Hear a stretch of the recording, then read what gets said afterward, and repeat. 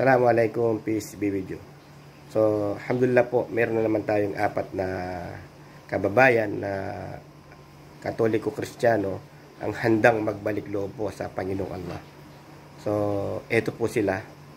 Ah, buong puso po nila na tinanggap ang Panginoong Allah Ah, at sila po ay handang magmuslim, no?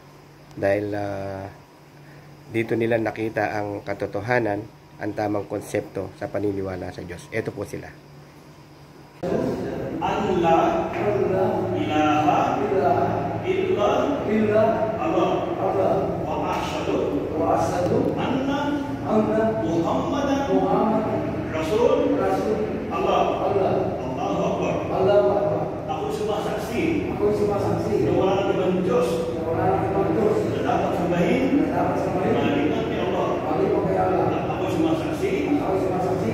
Muhammad